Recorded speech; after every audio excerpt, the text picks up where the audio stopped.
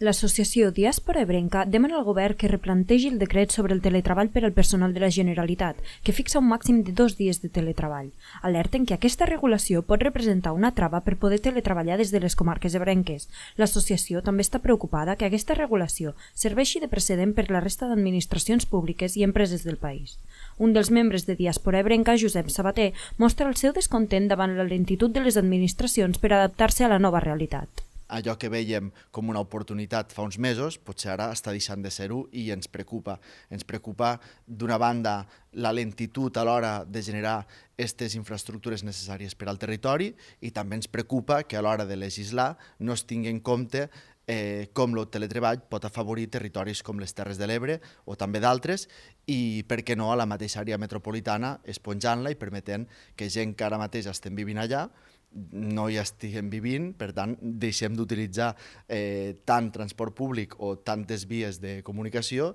i ens situem a altres territoris amb una densitat més baixa de població. A través d'una enquesta, Diàspora Ebrenca va xifrar més de 200 les persones que arran de la pandèmia estaven treballant des de les Terres de l'Ebre per a empreses o institucions de fora del territori. És per aquest motiu que l'associació reclama als representants polítics una política transversal que solucioni les problemàtiques de desigualtat territorial per aconseguir que la descentralització formi part de la nova normalitat. Eh, segurament hi ha molta gent que hem fet un canvi de xip i en la mesura del possible eh, voldrem seguir vinculats al territori i hi ha gent que durant la pandèmia ja ha vingut a viure a les Terres de l'Ebre i fa teletreball totalment des del territori i són, no sé, per exemple, persones autònomes o que treballen per a determinades empreses que tot és virtual i aquesta gent ja ha tornat al territori i han vingut per a quedar-s'hi.